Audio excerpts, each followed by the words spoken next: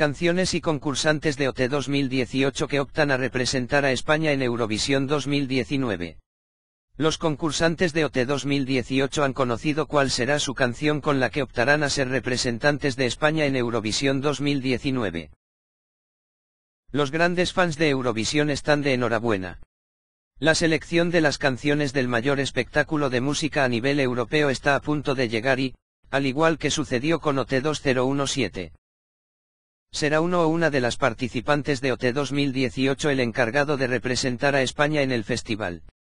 Todas las apuestas apuntan a Feimas, que además es el que más ganas tiene, pero dependerá de la canción y de otros muchos aspectos.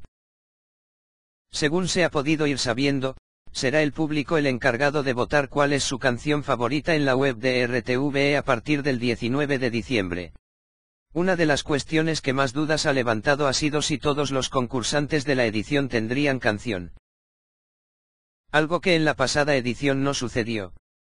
Pues bien, no todos los concursantes tendrán tema en la preselección mientras que algunos de ellos tendrán dos canciones. Lista de canciones candidatas a Eurovisión. No puedo más, Feimas. La venda, Miki. ¿Qué será luego? Albarreche. Nadie se salva, Miki y Natalia. ¿Qué quieres que haga, Julia? La clave, Natalia. Dímelo de frente, Sabela. Hoy soñaré, Sabela. El equilibrio, Miki. Canciones de los expulsados. Hoy vuelto a reír otra vez, Noelia. Todo bien, Marilia. Muérdeme, María.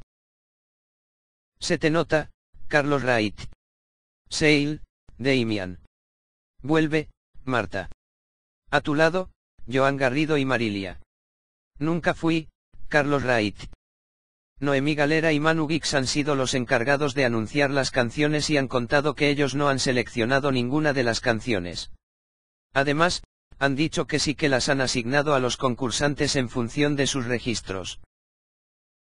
Por el momento, no se sabrá nada sobre las canciones, ni siquiera los compositores, y grabarán demos de un minuto que saldrán en la web de RTVE en la noche del 19 al 20 de diciembre, durante la gran final de OT 2018. Tres temas serán elegidos por el público y otros siete lo serán por RTVE y Gest Music.